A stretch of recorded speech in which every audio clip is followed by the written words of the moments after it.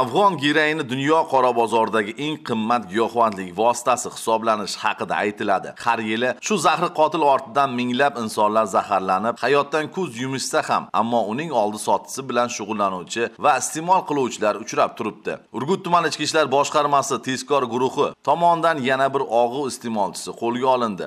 Giyohvand moddalarni qanaqa turdan chekardingiz ha endi kuchlisidan gerang yo'q afg'on geroinda nomlanadimi shunaqa bo'lsa kerak bir grammi nechi pul turadi uni qora bozorda. Grammini bilmadim. Endi shu biza kam kam oltmish ming ellik ming. Nimaga olib chekardik.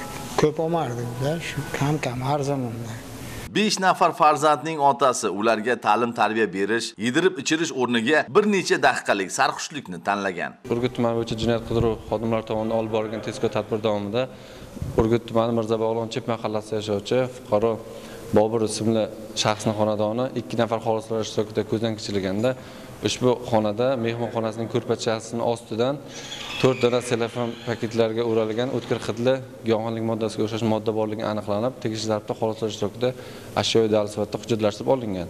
Samarqand viloyati ekspert kriminalistika bo'limini bergan xulosasiga asosan ushbu e, faol giyohvand modda tarkibida geran giyohvandlik moddasi borligi aniqlanib e, ekspert ma'lumotnomasiga ko'ra nol butun yuzdan o'n bir grammga teng geroin giyohvandlik moddasi ekanligi aniqlangan.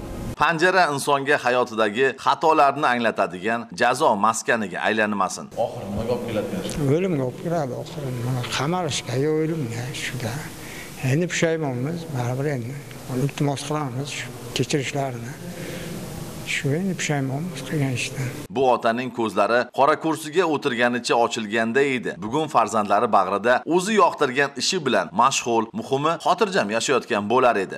Mazkur holat bo'yicha bugungi kunda o'zbekiston respublikasi jinoyat kodeksining ikki yuz yetmish oltinchi moddasi ikkinchi qismi a bandi bilan jinoyat ishi qo'zg'atilgan bo'lib bugungi kunda dastlabki tergov harakatlari olib borilmoqda. Bu kun chingiz norqulov shahriyor nabiyev bahodir shafiyev samarqand